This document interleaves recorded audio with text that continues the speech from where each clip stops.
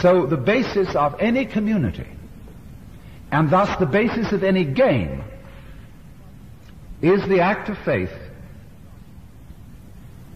that I will gamble. I will bet my life on this scene. And you see, that also is fundamentally not only the attitude of faith, but it's the attitude of love. Love is self-giving. When you love someone, say you fall in love with a member of your opposite sex or whatever, and you got mixed up with someone now.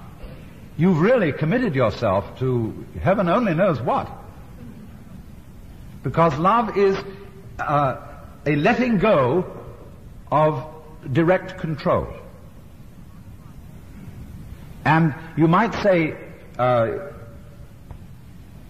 going back again to the Christian images of God, that God creates the world by constantly disappearing, giving himself away. This, the Hindu would agree with this too. That insofar as everyone here is God in disguise, but doesn't know it, this is because you, as God, are constantly giving yourself away to you. And feeling lost. You know, or how did I get mixed up in this world? Well, unbeknownst to myself, I made a gamble on being this person. And so this giving of oneself away is what's called a divine love.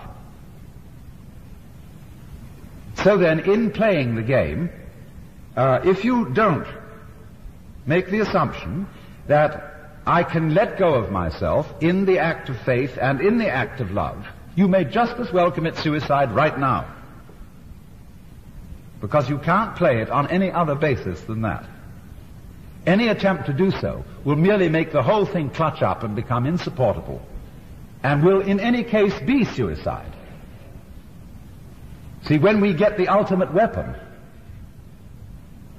with which we know we can be safe because nobody else has it, just because we wanted to get that ultimate safety and get that ultimate weapon to defeat our enemies, it will be suicide. Because Life really is not the avoidance of death. That is, death is the avoidance of death. The constant terror of death, the constant putting it off, the constant uh, vigilance that one will not die. That is death. What we call life is fundamentally willingness to die.